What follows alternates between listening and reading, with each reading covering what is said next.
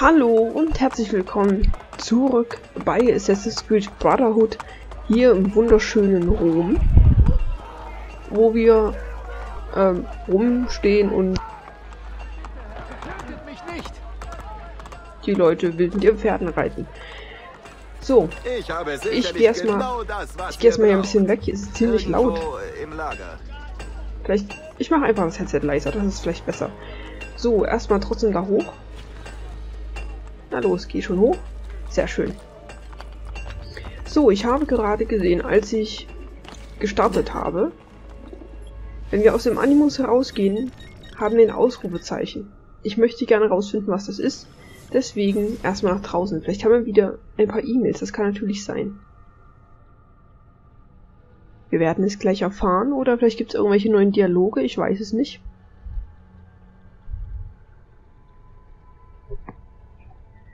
Und dann draußen, außerhalb vom, vom Versteck, da konnten wir noch diese Artefakte suchen. Das machen wir jetzt aber nicht. Nein. Das machen wir mal irgendwann anders, wenn... Boah, weiß nicht, wenn... Wenn halt der Zeitpunkt dafür ist. So, wieder raus aus dem Animus. Steh langsam auf. Ja, mache ich. Dankeschön. So, erstmal gucken, gibt's denn einen neuen Dialog mit euch? Wir reden später. Nein. Vielleicht mit dir, Lucy, Liebling? Ich bin beschäftigt. Nein, auch nicht. Und mit dir, Sean? Ich habe zu tun. Natürlich nicht. Ich okay, aber ich habe gesehen, der Monitor blinkt, also haben wir wieder E-Mails. Können wir hier rein? Ich möchte nochmal austesten. Natürlich nicht. Schade. So, Passwort eingeben. Apfelsalat. So, wir haben zwei neue. Gesendet am 21. und am 22. Wir fangen, wir fangen nach der Reihe an. Von Rebecca Crane an uns. MP3-Player. Hi Leute, ich kann meinen MP3-Player nicht finden, den kleinen schwarzen. Sagt Bescheid, wenn ihr ihn seht. Ohne Musik kann ich nicht gut schlafen. Rebecca. Okay, wir sagen Bescheid. Und Wer ist das? Erudito? Zugang. Achte darauf, im Verteiler zu bleiben. Guy Faust 32, Snowmass 84 und Juno 57. Zugang. Sind das eventuell die Passwörter von den anderen? Tatsächlich, von wem haben wir die bekommen? Oh, die schickt aber viel. Okay, wie lesen wir die am besten? Eingang, Ausgang. Antwort Joghurt MP3 Player. Okay, den einen haben wir schon gelesen. Den MP3 Player, der war ja an uns. Dann lesen wir Antwort von der Antwort zum Joghurt. Lesen wir erstmal den. Der scheint um uns zu gehen. Von Rebecca Crane zu Lucy Stillman. Betreff Desmond. Hey Lucy, Desmond hat gestern im Schlaf ziemlich laut gepult. Es wird immer schlimmer. Ich weiß nicht, ob du es auch gehört hast, aber ich dachte, ich sag dir mal Bescheid. Rebecca. Gesendet um 4.45 Uhr, also mitten in der Nacht. Die machen sich also anscheinend Sorgen um uns, weil, also um Desmond, weil, weil er anscheinend nicht mehr gut schläft, was ich durchaus verstehen kann bei allem, was er erlebt. So, und jetzt äh, Rebecca Crane an Sean. Die Antwort zum Joghurt Sean hat beide gegessen. Ich weiß es, weil er mich gefragt hat, ob ich einen haben will. Rebecca. Okay, irgendwer hat anscheinend einfach Joghurt, jo Joghurt, Joghurt, Joghurten, keine Ahnung, gegessen. Und ja, wir fangen wieder oben an. Die Antwort von Lucy zum Thema wir, also Desmond. Ich hab's gehört, aber wir können nicht viel tun, bis wir unser Ziel erreicht haben. Ich weiß, es ist schrecklich und ich hasse es, aber es muss sein. Trotzdem danke, Lucy. Gut, dann leiden wir halt weiter in der Nacht. So, vom 22, äh, vom 19.02. von Lucy. Da geht's um den Joghurt. Ich habe heute Morgen noch zwei Joghurts im Mini-Kühlschrank und jetzt sind sie weg. Ich habe Hunger und bin genervt. Also, wer hat sie genommen? Lucy. Sean. hat dann Anne Rebecca geantwortet. Ach nein, ich glaube, das waren an, an alle. Das wird sein. Deswegen bekommen wir die Nachrichten auch immer. Das ist so ein gemeinsamer Verteiler. Lucy, ich bin ziemlich enttäuscht, dass du solche Anschuldigungen gegen ein Team äußerst. Der Vorwurf ist unfair, aus der Luft gegriffen und ehrlich gesagt eine Beleidigung. S.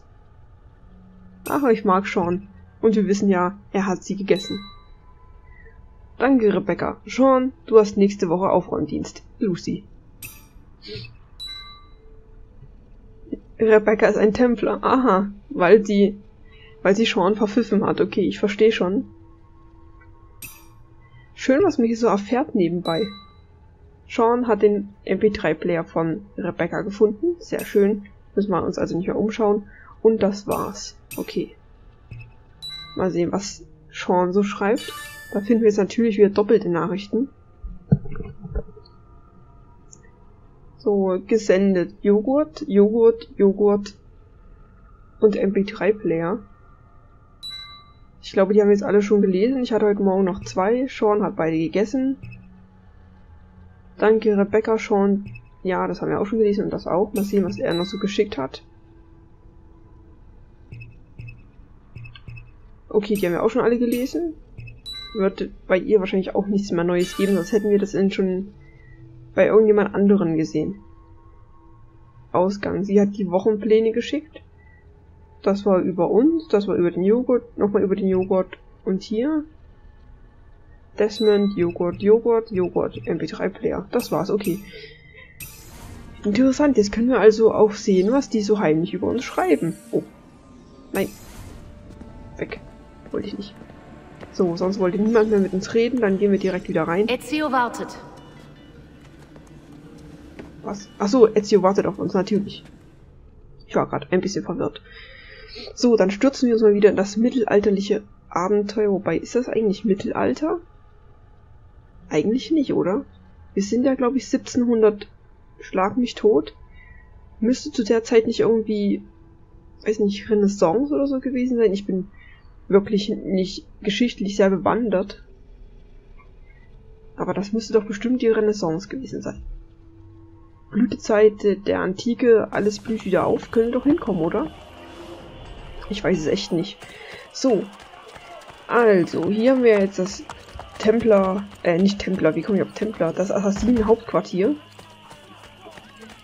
Und wir haben jetzt drei potenzielle Aufgaben. Einmal da, einmal da oben und einmal in der Richtung. Ich weiß nicht genau, ich glaube, es führt uns zu dem da hinten hin, zu dem wollte ich auch zuerst mal gehen. Ich habe keine Ahnung mehr, ob uns irgendwann mal gesagt wurde, für was die gut sind, aber wir nehmen einfach mal irgendeine Aufgabe. So, hier haben wir wieder Gondeln. Die Gondeln kennen wir ja schon. Ich glaube, die Gondeln waren auch sogar schon im ersten Teil dabei, oder? Wir gehen mal nicht durchs Sperrgebiet. Oh, sorry, wollte ich nicht.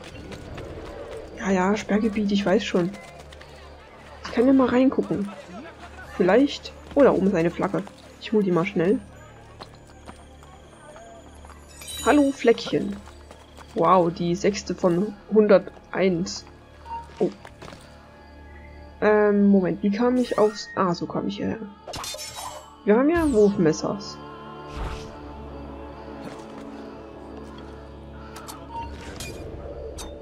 Oh, hat schon gereicht. Wir können es ja mal versuchen. Jetzt bin ich schon mal hier und habe den angefangen zu töten. Kann ich auch die anderen gleich mitmachen. Ich muss nur zuerst... Moment. Zuerst die Wachen hier oben auf den Dächern kaputt machen, weil die sind am gefährlichsten. Also mit am gefährlichsten. Und ciao. So. Und einen gibt's noch irgendwo. Da drüben irgendwie. Ich sehe es auf der Karte. Ah. Da. Hey, du da. Entschuldigung. Piu. Oh. Nochmal. Nein. Mist, jetzt sind die... Äh, scheiße. Und... Piu. Interessiert die Leute ja nicht. Oder merken die das? Die Zivilisten rennen schreiend weg, aber der Typ da unten nicht okay. Das ist erstmal ganz gut, würde ich sagen. Den können wir mal ausplündern. Vielleicht bekommen wir wieder ein paar Wurfmesser dazu. Also wie läuft der denn? Können wir den irgendwie heimlich abschießen? Wir können hier reinspringen. Nein! Nein, was machst du denn? Ich wollte, dass du in den Haufen springst.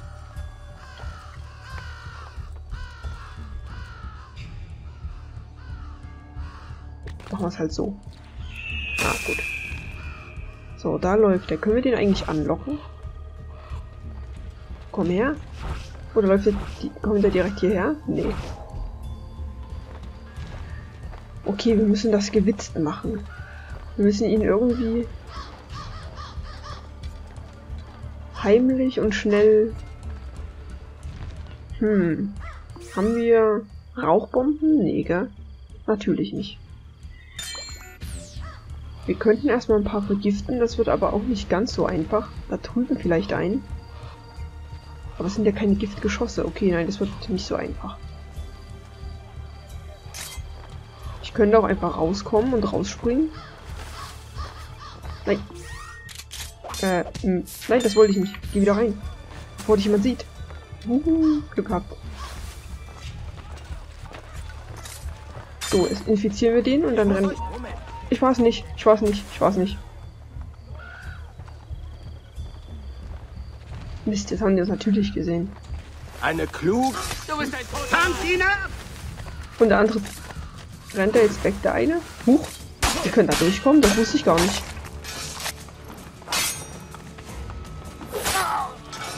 So, ah, scheiße. Das war keine gute Idee, hierher zu kommen. ein hübsches Sümmchen für sein... Da, ich Na, komm schon. Ach, so ein fetter Typ scheiße. Ich hasse die fetten Typen. Jetzt bricht Panik aus. Ich hoffe, der Typ rennt nicht weg. Wenn wir jetzt schon mal hier sind, dann möchte ich es auch gern zu Ende bringen. Cesare zahlt ein hübsches Sümmchen für seinen der. Kopf. Ja.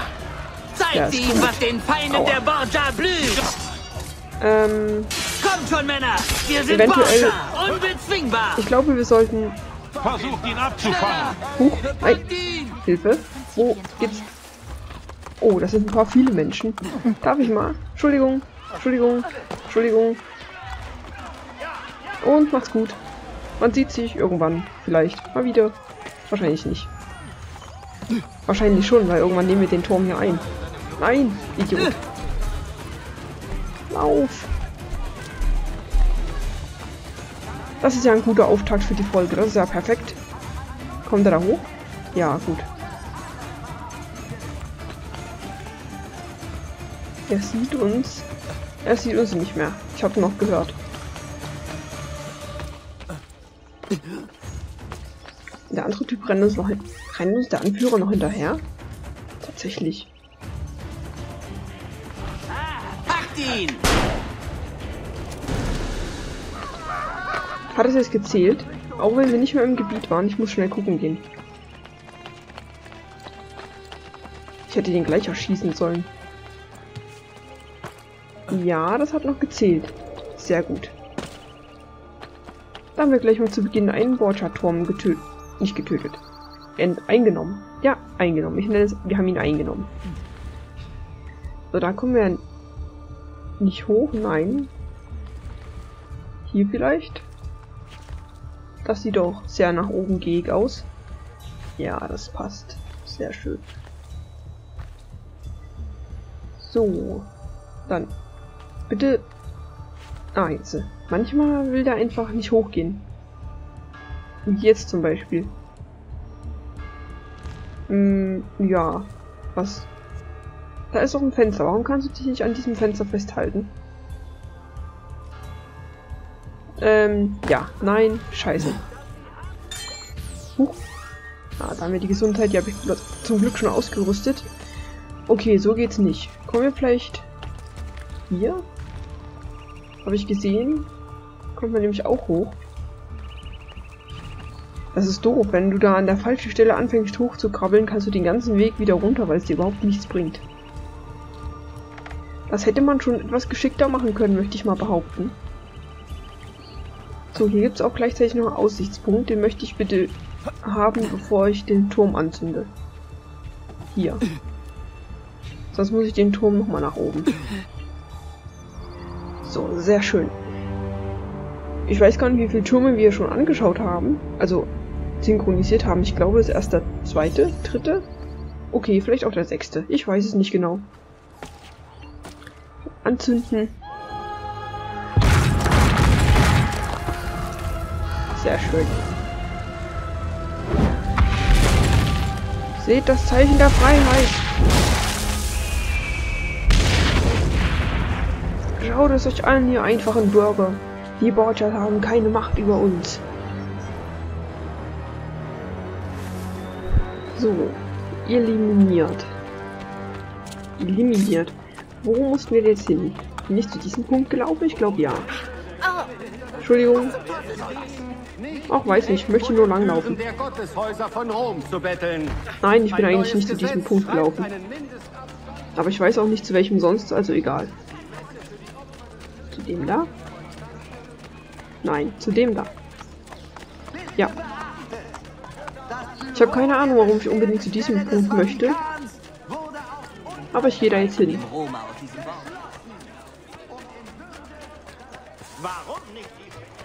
Wenn ich mich recht entsinne, ich überlege gerade, welche Aufgaben wir machen mussten, dann ist das, glaube ich, um Verbündete in der Stadt zu bekommen, oder? Die Kurtisanen, die Diebe und die Söldner oder so. Ich glaube, das war's. Die Frage ist nur, zu wem gehen wir jetzt gerade? Ich glaube fast zu den Kurtisanen, oder?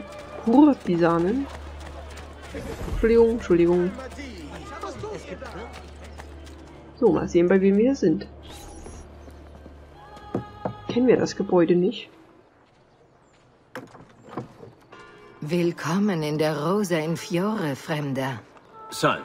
Wärt ihr so freundlich, die Dame des Hauses zu holen? Madonna Solare ist nicht da. Wisst ihr denn, wo sie ist? Ich... Aiuto, aiuto! Madonna Solari! Lucia, wir dachten, du hättest uns verlassen. Die Männer brachten uns auf ein Schiff. Mich ließen sie gehen, aber... Wer brachte euch auf ein Schiff? Sklavenhändler Missere. Bei der Isola Tiberina. Sie verlangen ein Lösegeld im Austausch. Ich hole sie zurück.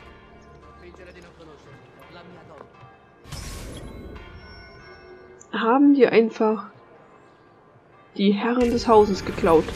Wir dürfen nicht schwimmen für die hundertprozentige Synchronisation. Ich denke, das sollten wir hinkriegen. Und wir kennen diesen Ort noch nicht. Wir waren ja damals... Also ich habe das gerade damit verwechselt, als wir in... Wo muss ich überhaupt hin? Ach, wir müssen erstmal Geld beschaffen.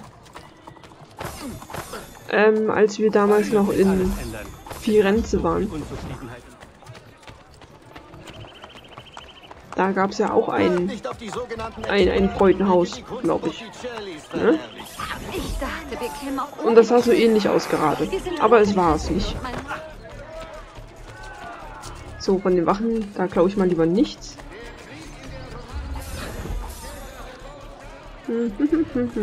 Dame im Fischkleid, vielen Dank. Ich glaube, von den armen Leuten bekommen wir nicht ganz so viel. Doch, 16, 10, 16. Die sind gar nicht so arm, die haben nur keine Lust, sich was ordentliches zu kaufen, glaube ich. Die Dame im Fischkleid, hallo? Es ist schwer, seit Babo starb. Die Verantwortung lässt Und ciao. So, hier brauchen wir da. Wir brauchen ganz schön viel Geld. Hattet ihr heute Glück bei dem Mauren? Ich hatte heute Glück bei den Mauren, wer auch immer die sind. Dankeschön. Ist auch gar nicht auffällig, wenn ich einen Typ anrempelt und das sein Geld weg. Win. So, darf ich hier mal noch bitten? Dankeschön. Dankeschön, Dankeschön. Wie einfach die Leute zu klauen sind, ist unglaublich. Ich würde auch gerne mal so durch die Stadt laufen. Ja, also noch sieben, Geizhals. So, dann laufen wir noch mal hier so eine Schlaufe. Hallo, ich bin's schon wieder. Mein Magen. Oh, sollte hier weggehen, bevor der mitbekommt, dass er beklaut wurde. Und so, dann gehen wir auch dahin. War ich bei euch schon? Ich glaube, bei euch war ich schon. Mehrere Male. Keine Arbeit, kein Geld. Ihr habt trotzdem immer wieder Geld, okay. Dankeschön. Die fängt gleich an, hysterisch zu atmen, dabei hat sie noch gar nichts mitbekommen. Ach, wir haben schon genug Geld. Ich mache mal noch weiter. Man kann niemals genug Geld haben. Man muss mal wieder an Leute rankommen. Dankeschön. So, zu den Sklavenhändlern. Irgendwo in diese Richtung.